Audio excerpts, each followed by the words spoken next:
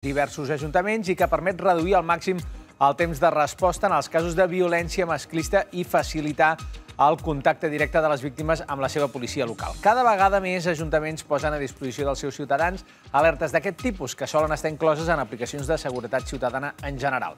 Fa pocs dies s'ha posat en marxa a Becarisses i la Cristina Macias ha volgut saber com funciona. Becarisses ja disposa d'una aplicació de mòbil de seguretat ciutadana. Permet avisar la policia local que hi ha intrusos a casa, que sona l'alarma, que veiem persones estranyes al carrer o a casa dels veïns i també davant d'una situació de violència masclista. Això és una simulació. Una noia sola al carrer se sent amenaçada. Només ha de prémer l'icona. Mantenim un avís. Els agents truquen a la persona que llança l'alerta i en pocs minuts arriben al lloc dels fets. En menys d'una setmana ja s'hi han registrat 200 usuaris. Me la vaig descarregar i, i a mi em dona una seguretat per tema de robatoris, perquè eh, bueno, aquí vivim aïllats, com aquell que diu. El contacte que tens directament amb una app no és el mateix que agafar el telèfon i buscar el telèfon de la policia, no? és com molt més ràpid. Res diferent del que hem estat fent fins ara. El que passa és que la policia ha d'actualitzar-se de la mateixa manera que ho fa la, la societat, perquè el que volem és eh, tindre un canal de comunicació fluid amb el ciutadà. En poblacions molt disseminades, com Vacarisses, hi veuen una oportunitat. És un poble de 40 quilòmetres quadrats aproximadament, amb 17-18 urbanitzacions. La policia és la que és, és a dir, són 14 policies ja en aquests moments, però clar, normalment només hi ha una parella operativa, i llavors és molt difícil no? a, arribar a tots els llocs i d'aquesta manera, doncs, amb aquest aplicatiu doncs, senyalitzes el lloc exacte i pots doncs, anar-hi molt més ràpidament. Resulta molt fàcil d'utilitzar, és immediat i és 100% silenciós. D'acord? Estem parlant que en qüestió de segons la policia sap qui ets, on ets i davant de què et trobes. L'aplicació ja és operativa en diversos municipis i tots diuen que la sensació de seguretat millora. Municipis a banda de Vacarisses com Matadepera, Alella, Vilassar i Torredembarres que ja tenen aplicacions que inclouen aquest servei. I el Vendrell, al Baix Penedès, ja fa dos anys i mig que la van implantar i, per tant, tenen una mica més de perspectiva. En podem parlar amb Jordi Altarriba, que és el cap de la policia local del Vendrell. Bon dia. Hola, bon dia. En aquests dos anys, quantes alertes han rebut a través d'aquest servei? Bueno, d'alertes reals, reals, diguéssim, de risc, dues uh -huh. d'avisos de, per falsa alarma, perquè la gent es baixa l'aplicació, llavors bueno, proven el, el botó de lliscar i fan l'alerta. No? Uh -huh. Aquí el que s'ha de dir és doncs això, quan nosaltres rebem l'alerta fem dues actuacions. Una és enviar-hi la patrulla, no? i mentrestant l'operador de sala ja truca amb aquesta persona, perquè la tenim, diguéssim, identificada, i li pregunta si contesta, no? què és el que li passa, si és falsa alarma, si té algun problema de veritat, i llavors s'aborta la intervenció de la patrulla o no. Uh -huh. Com ha millorat el temps de resposta des que s'ha implementat aquesta aplicació?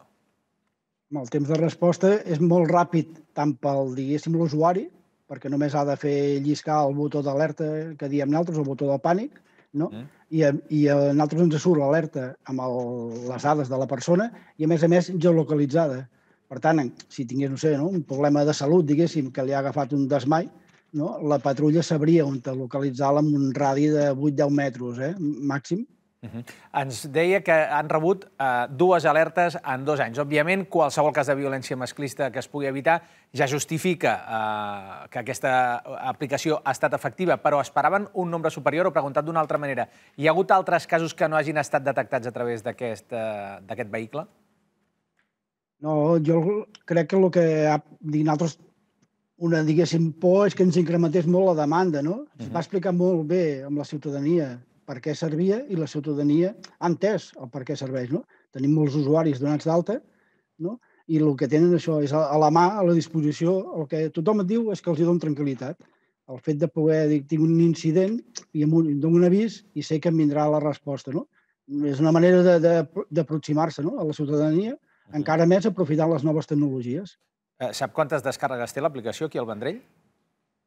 Home, de ciutadania hi ha un més de 1.500, tenim. És que hi ha, i aquesta APP nostra té tres parts, diguéssim, que és la part de la ciutadania, una part que és pel comerç i una altra part que és per la policia interna, no? Uh -huh. Llavors, al comerç inclús podem fer, diguéssim, enviar missatges curts de text, no sé, per posar un exemple, no? Si hi ha algú que està movent algun bitllet fals, doncs podem passar amb els comerços un avís de dir, escolta, aneu amb cuidado perquè ja s'ha detectat doncs, una persona o dues amb aquestes característiques que intenten pues, això, colar un bitllet fals, no? Uh -huh. Vull dir que té, té més utilitats que només el botó aquest d'alerta, no?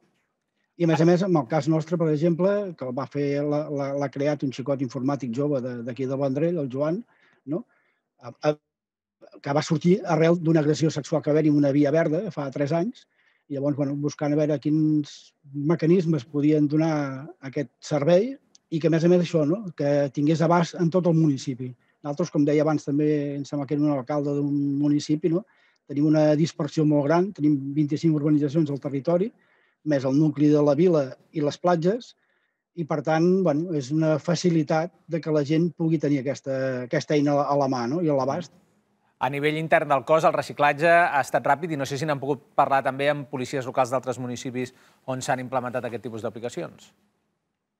Sí, nosaltres normalment ja ja parlem de per si. Jo, més, per exemple, soc membre d'ACPOL, de l'Associació de Caps i Comandaments de Policia Local de Catalunya.